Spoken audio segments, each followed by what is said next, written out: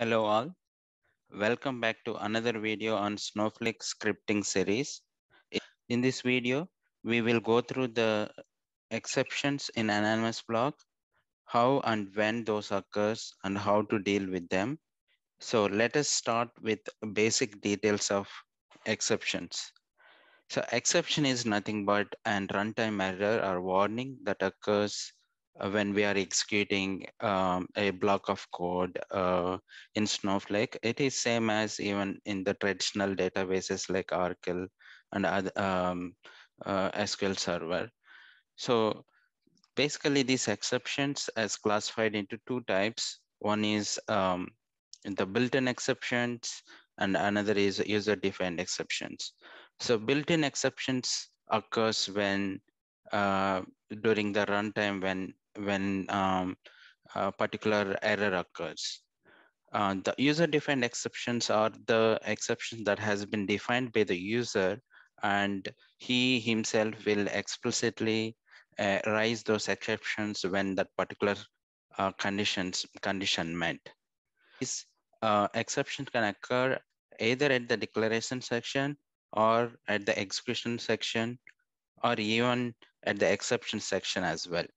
So we will go through the various examples and see how each exception occurs in each section and how to deal with them, how to handle them as well.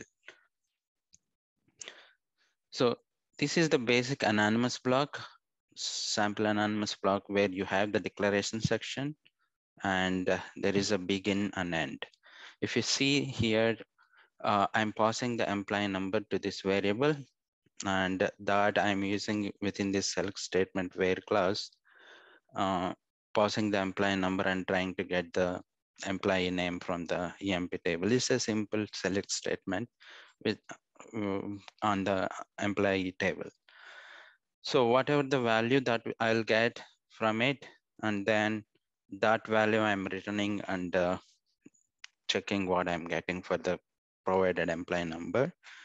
Uh, since I already mentioned there are the duplicate records on this table and uh, I'm putting the limit so that only one record because this variable will can hold only one record at a time.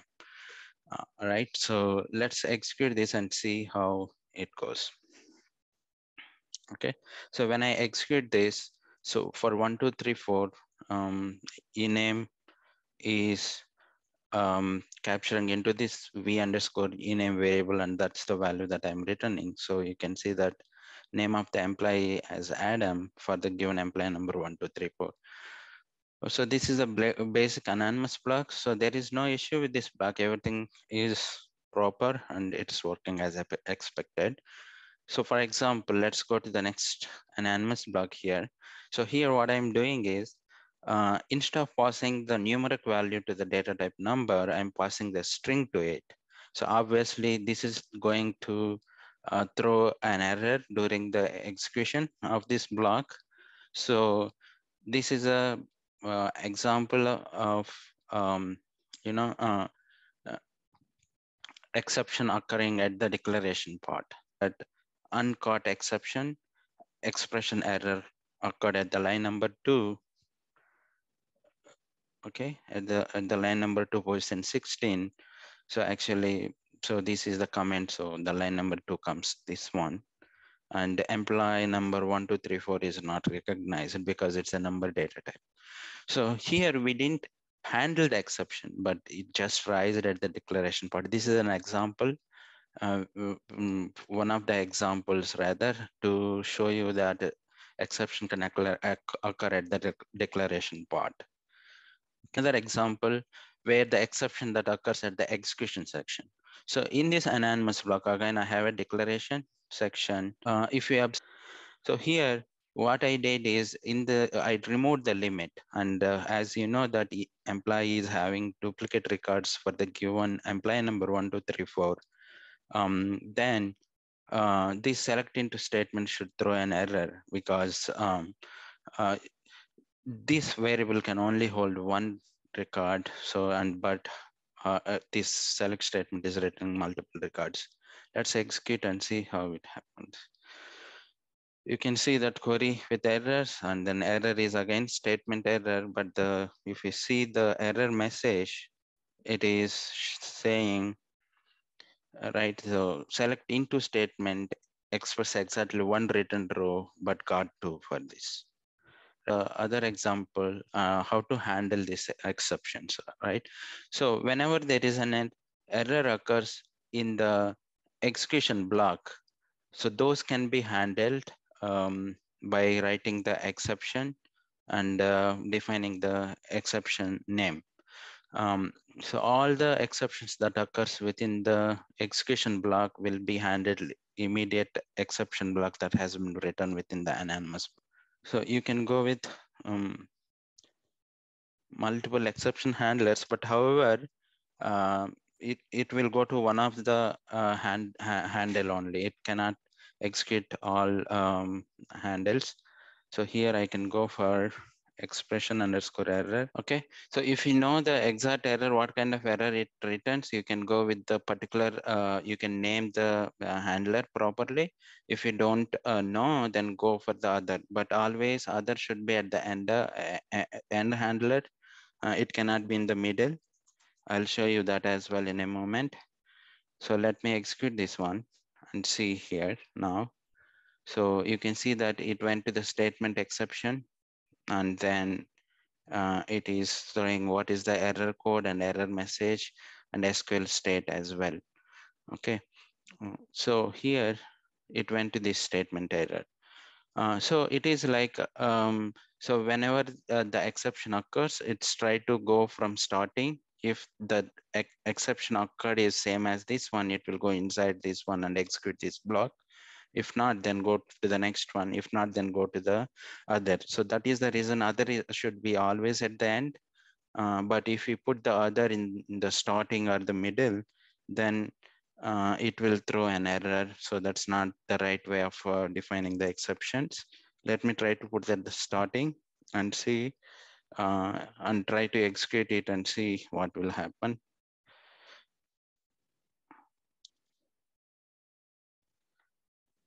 Okay, so you can see that, that compilation error. So compilation uh, error is uh, the something that syntactical errors or uh, uh, the wrong way of defining the things.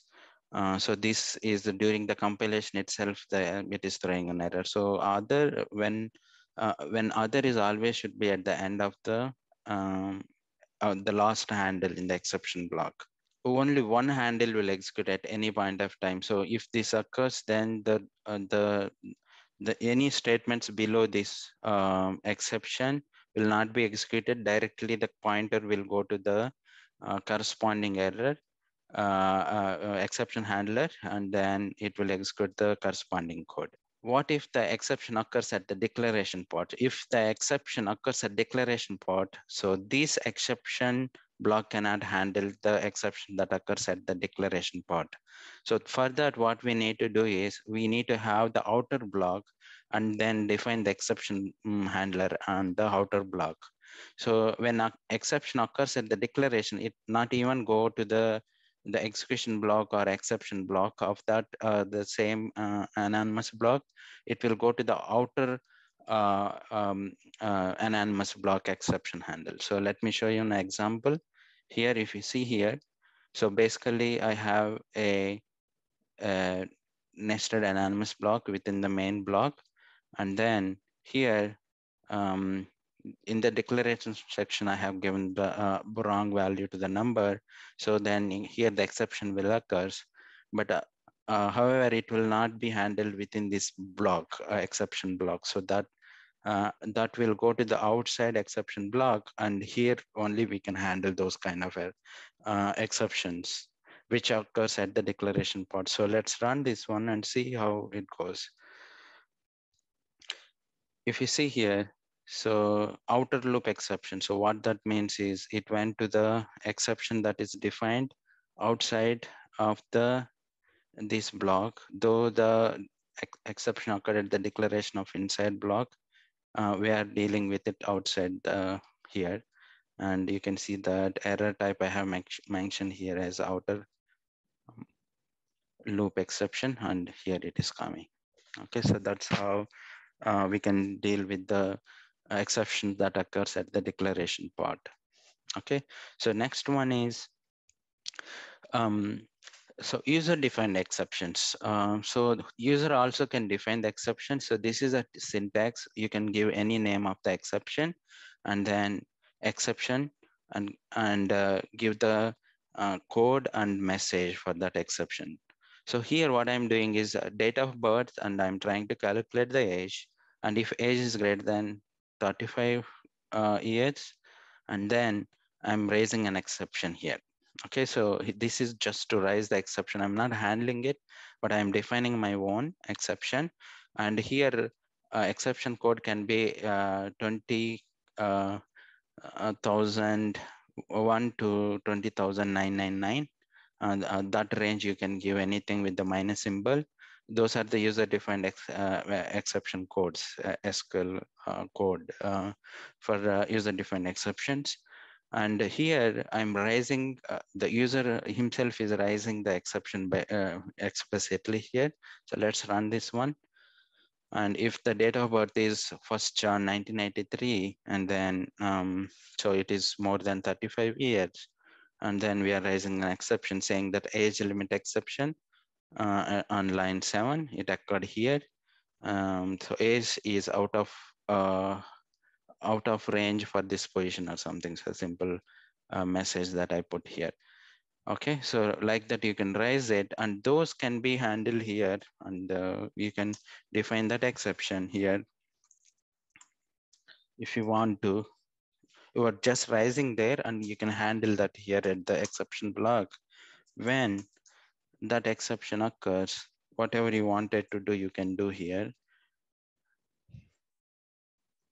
Then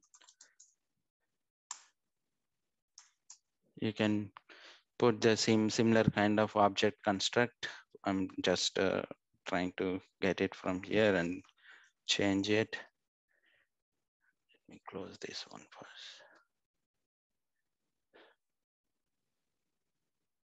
Okay, say user defined. User defined exception. And then error SQL code is seems nothing but whatever we have given. SQL error message is nothing but whatever we have defined here. And let's see what SQL state will print for this. Um, so let's see. So you can see here, it is P001 SQL state and uh, uh, you can see the error code and you can see the error message as well properly defined for this. So like that here we can handle that. So earlier we just raised it that was unhandled exception, but now we handled it and we are uh, printing the message that the pointer came to here and we are dealing with it, right? So that's how the user defined exceptions uh, works. And as I mentioned, code can be from uh, 20k1 to uh, 20999, anything with the minus symbol can be given. So those are for the user defined exceptions. Okay, so another uh, example is passing the exception from inner uh, inner uh, block to outer block. So um, suppose uh, there is the inner block and some exception occurred here and uh, we you are you can handle here directly if it is uh, within the execution block if it is a declaration obviously that can be handled outside here um, but uh, execution block can be handled within this exception, but some scenarios you might need to uh, pass that exception to the outer outer anonymous block. Then you can simply say that rise. So when you say that um, the same exception that occurred within this block will carry uh, forward to the outer block, and uh, we will deal with that in the outer exception. I'll explain to you one more time.